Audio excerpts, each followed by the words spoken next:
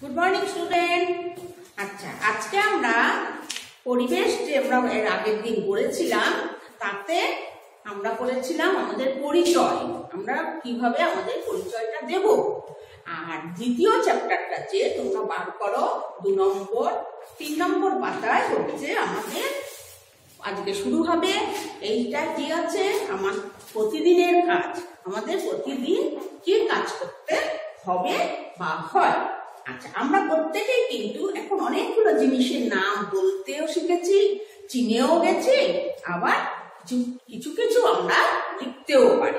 আচ্ছা প্রতিদিন প্রথম কাজ সকালবেলা যে আমরা উঠবো, কটার সময় উঠবো? সকাল ছটার সময়। তোমরা কখন ওঠো? সকাল ছটার সময়।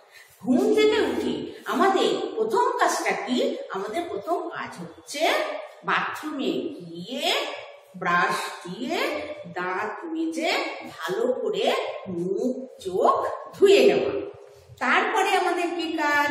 তারপরে হচ্ছে আমাদের স্কুলে যাওয়ার জন্যে প্রস্তুত হতে হবে। তাহলে আমাদের স্কুল কখন শুরু হয়? আমাদের স্কুল শুরু হয় ছটা তিরিশে। তাহলে আমাদের স্কুলে যাওয়ার জন্য প্রস্তুত হতে হবে। এবার স্কুলে যাওয়ার আগে আমাদের কিছু খেয়ে নিতে হবে। স্কুলে যাওয়ার আগে কেউ দুধ খায়, কেউ কমপ্লান খায়, দুধের সঙ্গে কেউ আবার বিস্কুটও খায়। তাহলে আমাদের দুধ বিস্কুট খেয়ে নিতে হবে। কারণ অনেকক্ষণ থাকব তো, সব ছটা তিরিশ থেকে সেই নটা তিরিশ পর্যন্ত অনেকক্ষণ খালি পেটে আমরা থাকতে পারব না। আচ্ছা এরপরে হচ্ছে এই যে স্কুলে যাব, আমরা নিশ্চয়ই কেউ খালি গায়ে যাব না, আমাদের পোশাক পরতে হবে। প্রথমে সেই পোশাক আমাদের পরতে হবে। পোশাকটা কে পরিয়ে দেবে? মা, নয়তো বাবা। প্রত্যেক দিনই যে মা পরিয়ে দিতে পারবে তা নয়, তাহলে মা কখনো পরিয়ে দেবে, কখনো বাবা পরিয়ে দেবে। এবার তারপরে আমাকে জুতো পরতে হবে। আর জুতো পরতে গিয়ে আমাদের জুতোর ফিতে বাঁধতে হবে। তাহলে এই যে জুতোর ফিতে বেঁধে দেওয়া, চুল বেঁধে দেওয়া, পোশাক পরিয়ে দেওয়া, এগুলো কে করে? কখনো মা, কখনো বাবা। তোমাদেরকেও আস্তে আস্তে নিজেদেরকে শিখে নিতে হবে। এবার স্কুলে আসার জন্য আমাদের আর কি করতে হয়? স্কুলে আসার জন্য আমরা কি নিয়ে আসি? স্কুল ব্যাগে বই, খাতা, পেন, পেন্সিল এগুলো আমরা করে নিয়ে আসি। আর এইগুলো আমাদেরকে গুছিয়ে নিতে হবে। আর অনেকে আগের দিন রাতেই কিন্তু এগুলো গুছিয়ে রাখে। কেন, যখন আসবে তখন হয়তো সে এইটা বই আনলো, পেন্সিল আনলো না, পেন্সিল আনলো, জল আনলো না, এরকম ভুলে যাবে। তারপরে আমাদের ছটা কুড়ির মধ্যে, যেহেতু ছটা তিরিশে আমাদের স্কুল শুরু হয়, ছটা কুড়ির মধ্যে আমাদের স্কুলে পৌঁছে যেতে হবে। প্রত্যেকে যে স্কুলে ভর্তি হবে, যে টাইমে তার অন্তত দশ পনেরো মিনিট আগে স্কুলে পৌঁছে যাওয়া দরকার। এবার আমরা স্কুলে গিয়ে প্রথমে কি করব? স্কুলে গিয়ে আমরা প্রথমে কি করি? সকলে প্রার্থনা করি যে প্রার্থনা কি আমাদের দেশ মাতাকে স্মরণ করে আমরা শ্রদ্ধা জ্ঞাপন করে যাতে সারা দিনটা আমাদের সুন্দরভাবে হয়, সেই জন্যে আমরা প্রার্থনার মাধ্যমে সেই কাজটা শুরু করি, তাই আমরা প্রার্থনা করি। তারপরে আমাদের স্কুলে প্রার্থনা পরে কটা পর্যন্ত আমাদের স্কুল হয়? আমাদের শিশুদের নটা তিরিশ পর্যন্ত হয়, আর তার থেকে একটু বড়, অর্থাৎ তৃতীয় শ্রেণি, চতুর্থ শ্রেণি, দ্বিতীয় শ্রেণি, এদের দশটা তিরিশ পর্যন্ত। হ্যাঁ এই পর্যন্ত স্কুল হয়। আচ্ছা ঠিক আছে। এবার আমাদের, আমরা যে স্কুলে যাচ্ছি, আমরা স্কুলে গিয়ে কাদেরকে সব থেকে বেশি কাদের কথা শুনব? কাদেরকে না, কাদের কথা শুনব? শিক্ষক বা শিক্ষিকা যারা থাকেন, তাদের কথা মেনে চলবো। অনেক সময় আমাদের ক্লাসে শিক্ষক, শিক্ষিকা আসতে একটু দেরি হচ্ছে, যে কোনো কারণে আসছেন না। তখন আমরা কিন্তু ক্লাসে মনিটর থাকি। তোমরা যাদের বলো, ক্যাপ্টেন সেই তাকে আমরা বলে বাইরে যাওয়ার হলে বাইরে যাওয়ার অনুমতি নেব ক্লাসে কেউ যদি গন্ডগোল করে, তার কাছে আমরা নাম লিখে জানাব। এরপরে আমাদের টিফিন হবে, আমাদের দু পিরিয়ড হয়ে গেলে, আমার বা তিন পিরিয়ড হয়ে গেলে আমাদের টিফিন হবে। সেই টিফিনের সময় আমাদের টিফিনটা খেয়ে নিতে হবে। কারণ সেই কখন সকাল ছটা কুড়ির সময় এসছি, খিদে পাবে। তাই এরকম হাফ টাইমের সময় আমাদের কিছু টিফিন খেয়ে নিতে হবে। স্কুলে যখন ক্লাস চলবে তখন আমরা যদি আমাদের বাইরে যাওয়ার দরকার হয়, তখন আমাদের অনুমতি নিয়ে যেতে হবে। কার অনুমতি নিতে হবে? স্কুলের ক্লাসে তখন কে থাকেন শিক্ষক বা শিক্ষিকা থাকেন তাদের আমরা অনুমতি নিয়ে আমরা বাইরে যাব। ম্যাম, একটু জল খেতে যাব? ম্যাম, একটু বাথরুমে যাব? তখন আমরা তাদের কাছ থেকে এই অনুমতি নিয়ে আমরা বাইরে যাব। এরপরে আমার ক্লাস হয়ে গেল। এবার আমরা কি করব? বাড়ি ফিরবো।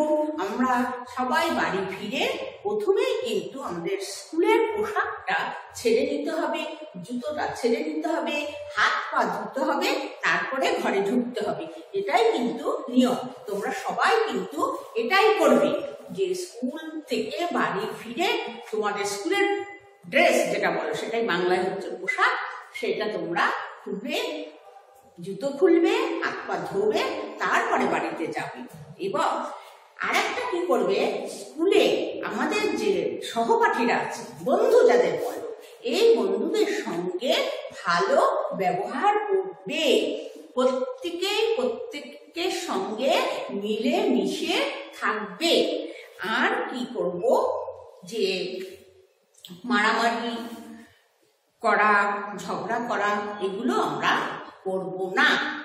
কেন না আমরা স্কুলে এসেছি, সবাই একসঙ্গে বিভিন্ন বাড়ি থেকে, বিভিন্ন জায়গা থেকে, প্রত্যেকেই একটা জায়গায় এসেছি আমরা পড়াশোনা করতে। আমাদের প্রধান লক্ষ্যই হলো পড়াশোনা করা, শিক্ষা নেওয়া, কোনো কিছু শেখা।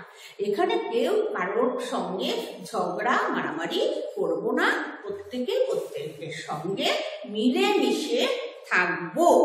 অর্থাৎ প্রত্যেকেই আমাদের বন্ধু। যদি একজন পড়ে যায়, সঙ্গে সঙ্গে তাকে আমরা তুলে দেব। কারোর একটু জলের দরকার হলে জল দেব। কিন্তু সেই জন্যে এখানে আমার, তোমার এসব ভাগাভাগি করব না। এই সোম থেকে শনি, এই যে দিন, সোম, মঙ্গল, বুধ, বৃহস্পতি, শুক্র, শনি, এই যে ছটা দিন, এই ছটা দিন আমরা স্কুলে আসি পড়াশোনা করতে। এখানে কিন্তু আমরা শিখতেই আসি। আর থাকল একটা দিন, তাহলে কোন দিনটা থাকল? রবিবার। সেটা হচ্ছে ছুটির দিন। রবিবার কিন্তু আমরা স্কুল যেমন ছুটি, বাড়িতেও কিন্তু পড়াশোনা খুব একটা করি না। সেটা ছুটির দিন। তোমরা বাচ্চা, তোমরা সেদিন একটু দেরিতে ঘুম থেকে উঠবে। আবার ঘুম থেকে উঠে প্রতিদিন হয়তো একটু দেরিতে উঠলে, উঠে দাঁত মাজলে, মুখ ধুলে, কিছু খাবার খেলে। সেই দিন হয়তো অনেকেই তোমরা আঁকা শিখতে যাও আঁকা স্কুলে তাহলে একটু দেরিতে উঠে হাত মুখ ধুয়ে কিছু খাবার খেয়ে তোমরা আঁকার স্কুলে চলে যাবে। সেখানে আঁকা শিখবে। তারপর বাড়িতে এসে আবার স্নান করবে, সোমবার স্কুলে যাবে, তার জন্য তোমরা কি করবে? কিছু কাজ রেডি করে রাখলে, হয়তো স্কুল থেকে দেওয়া হলো হোমওয়ার্ক করতে দেওয়া হলো, সেইগুলো তোমরা করে রাখলে। কারণ সোমবার গিয়ে আবার দেখাতে হবে। এরপরে তোমরা রবিবার দিনটা আর কি করো বা করতে হয় তখন আমরা কি করব? তো এবার মা বাবাকে বলব যে আমাদের ঘুরতে নিয়ে চলো। অনেকেই কিন্তু অনেকের বাবা মায় রবিবার কিন্তু বিকেলবেলা বাচ্চাদের নিয়ে ঘুরতে বেরোয়। এবার তুমি প্রত্যেকেই যে একদম যায় তা না, কিন্তু ঘোরাফেরা তারা করে। এইভাবে রবিবারে সারা দিনে তুমি কি কি করলে? সোম থেকে শনি আমরা যেমন পড়াশোনা করলাম, স্কুলে গেলাম টাইম মতন আসলাম, আবার রবিবার আমি সারাদিন কি কি করলাম, সেইগুলো তুমি একটা খাতায় নিজে লিখেও লিপিবদ্ধ করতে পারো। এইভাবে আমাদের এই দিন সোম থেকে শনি একভাবে চলল, রবিবার দিনটা আবার আমাদের আর একভাবে চলল। তাহলে এবার আমাদের দ্বিতীয় চ্যাপ্টারটা বোঝা গেল যে কীভাবে হলো। এইগুলো তোমরা করে নেবে, আমি যা যা বললাম। তারপরে আমি পরের ক্লাসে তৃতীয় চ্যাপ্টার বুঝিয়ে দেবো।